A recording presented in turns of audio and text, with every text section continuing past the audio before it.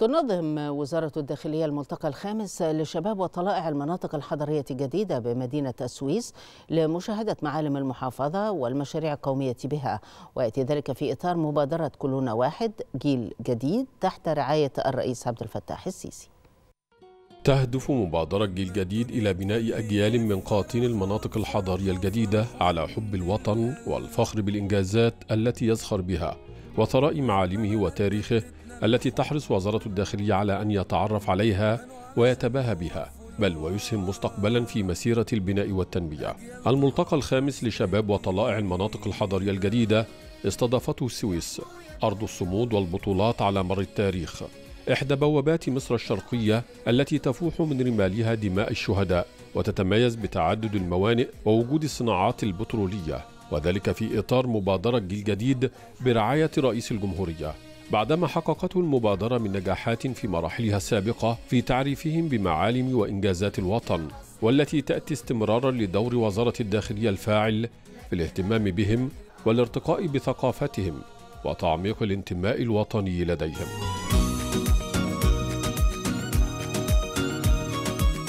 تم اصطحاب الشباب في جولة تشمل معالم مدينة السويس المتنوعة وفي مقدمتها النصب التذكاري الذي يخلد ذكرى الشهداء.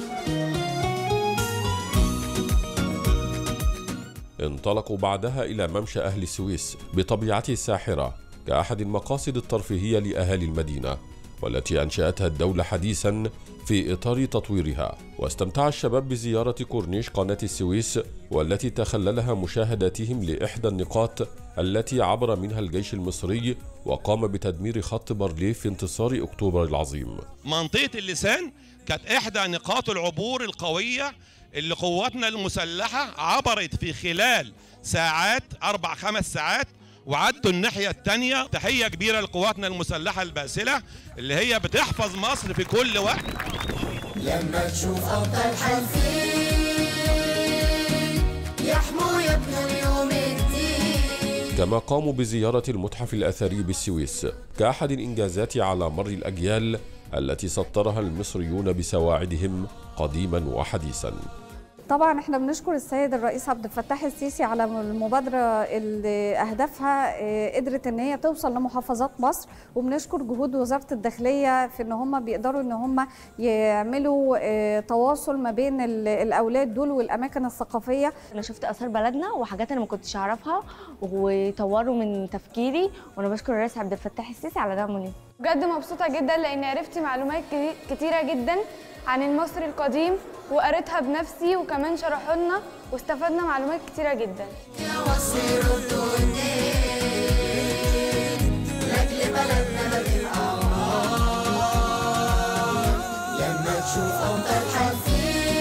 تضمنت فعاليات الملتقى في شقه الثقافي توزيع قصة بعنوان أنت البطل والتي تؤكد على أن البطولة الحقيقية في نفع الإنسان لنفسه وأصدقائه وبلده وأسرته ونشر الطاقة الإيجابية والسعي لتحقيق الحلم.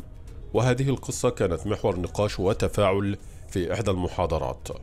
أي حلم كان بدايته فكرة وانتوا كنتوا الفكرة. فكرة البلد تكبر. عشان كده خدناكم في كل الملتقيات والنهاردة بنكمل ده وبنفرجكم على المشاريع القومية. المشروعات القومية اللي بتقابلنا. المشروعات دي بتاعتك انت اللي هيحافظ عليها انت. القصة دي علمتني اللي لازم أن يبقى عندي هدف ولو ما عنديش هدف أحلم وأسعى وأجتهد لغاية لما أوصل ل- لحلمي. القصة دي كمان علمتني إن مهما كانت المشاكل أو الصعوبات اللي هتواجهني في تحقيق الهدف لازم أتجنبها وأتخطى وأتخطاها عشان أوصل لهدفي وهي دي البطولة الحقيقية. لما تشوف يبنوا اليوم الدين. حرصت وزارة الداخلية على اصطحاب هؤلاء الشباب إلى مبنى الهيئة الاقتصادية للعين السخنة حيث تم تعريفهم بالإمكانات الاقتصادية التي تتمتع بها مصر وقدرتها على جذب المزيد من الاستثمارات في ظل المناخ الجاذب لهذه الاستثمارات. يحموا يبنوا اليوم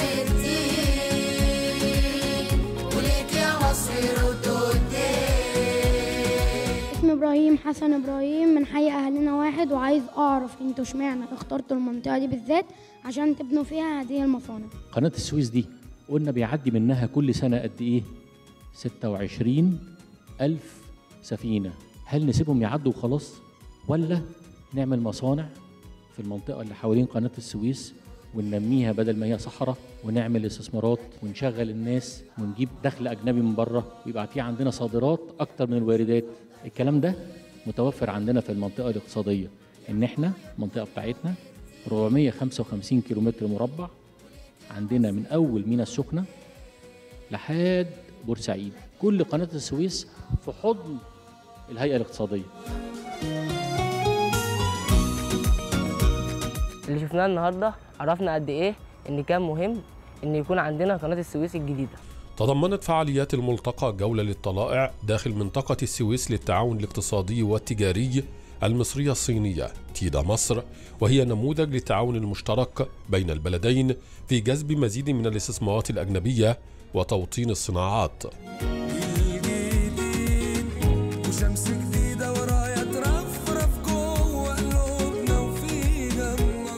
أشكر آه، كثير لوزارة الداخلية يعطينا الفرصة لتعريف المنطقة تيدا آه، للشباب المصرية آه، يعني منطقة تيدا تعاوني هو آه، نموذج آه، تعاوني بين حكومتين حكومة صيني ومصري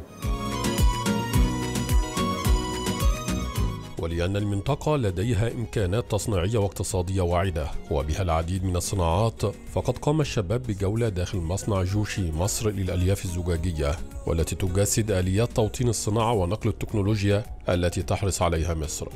بكرة نضحي علشان مصر ونوفي جميلها طول العمر. أجيال طالعة في مصر جديدة.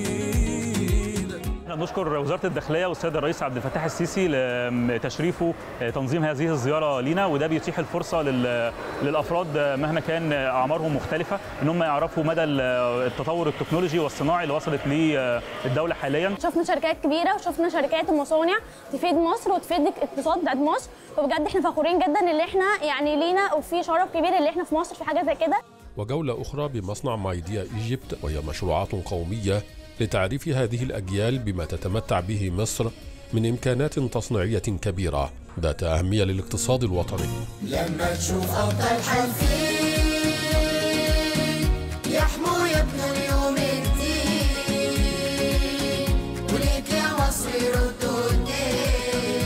فخور جدا ان إحنا بدأنا نسد الفجوة ما بين أسئلة الشباب اليومين دول والأطفال البلد بتعمل إيه وما بين ان إحنا نجيبهم على أرض الواقع يشوفوا. زي ما عبرنا عشان نحافظ على الأرض عبرنا كمان عبور اقتصادي عشان بلدنا دي هتبقى في حتة تانية. وشملت الجولة منطقة مبنى موانئ دبي العالمية داخل ميناء العين السخنة حيث قاموا بجولة داخل الميناء للتعرف على طبيعة عمله وأهميته الاقتصادية. والذي يمثل انعكاسا للمناخ الجاذب للاستثمار الذي تنعم به مصر. لما تشوف أبطال حالفين يحموا يبنوا اليوم الدين. اللي بيحصل النهارده في مصر آه شيء آه يعني آه جديد من نوعه. إحنا ما بقيناش بس بنبني آه حجر ولا صخر ولا مباني إحنا بنبني بني آدمين. وبنبدأ من الطفل. التربية الصح والتعليم الصح هو اللي بيطلع أسس صحيحة ودولة صحيحة. نشكر مبادرة سيد الرئيس آه، عبد الفتاح السيسي على المبادرة آه، ال- الجميلة والرائعة لتكوين الشباب مبادرة جيل جديد. والحمد لله إحنا في موانئ دبي آه، حبينا الفكرة هاي. والدعم من رئيس المجموعة الأخ سلطان بن سليم أن نطور الشباب وكيف نقدر نتعاون مع المبادرة هاي ونطور الشباب يكونون إن شاء الله جيل قوي وحاضر يبني مستقبل مصر آه، في المستقبل الجديد.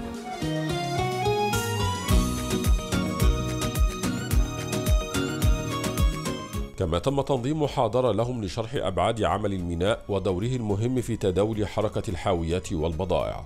وخلال فيديو موجه من رئيس مجلس الإدارة والرئيس التنفيذي لموانئ دبي العالمية أثنى على المبادرة التي تعد استثمارا في شباب مصر. كما عبر عن فخر المجموعة بالتعاون مع مصر ودعمها لتكون مركزا للتصنيع بالمنطقة. أتقدم بجزيل الشكر إلى فخامة الرئيس عبد الفتاح السيسي رئيس جمهورية مصر العربية لدعمه ورعايته الكريمة لمبادرة كلنا واحد وإلى وزارة الداخلية على هذه الدعوة الطيبة. ويسعدني أعلن اليوم أننا سنقدم منحا دراسية جامعية لأفضل عشر طلاب من أبناء المبادرات الجديدة. جيل جديد. ومن خلال هذه المنح الدراسية ستقوم مجموعة مواني دبي العالمية برعاية هؤلاء الطلاب في الجامعة وتسويلهم بالفرص التدريبية بعد تخرجهم.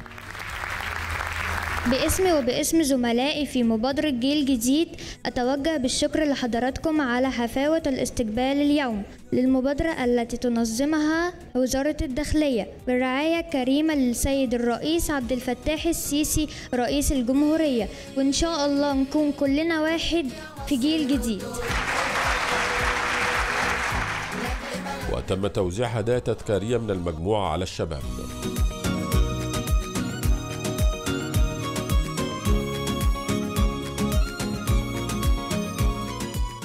كل مرة ببقى حريص إني أشارك في المبادرة لأن بشوف فيها مصانع ضخمة وطرق وكباري. المرة دي في السويس أنا شفت مصانع وشفت مواني وشفت شركات بتقول إن مصر هيبقى لها مستقبل كبير وإحنا هيبقى لنا دور في المستقبل ده وإن شاء الله هنحافظ عليه.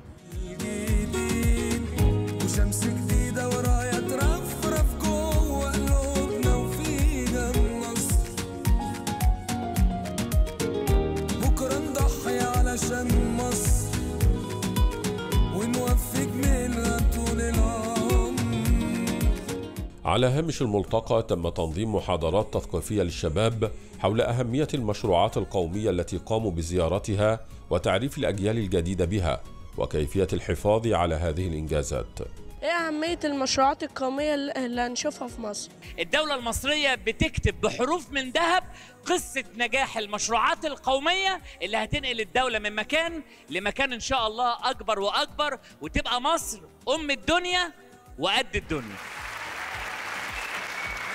بيشوفوا إنجاز بلادهم في التاريخ وبيشوفوا إنجاز بلادهم في الحقيقة العصر اللي هم عايشين فيه لأن هم هيشيلوا مسؤولية حماية الإنجازات دي. لما تشوف أبطال حلفين يحموا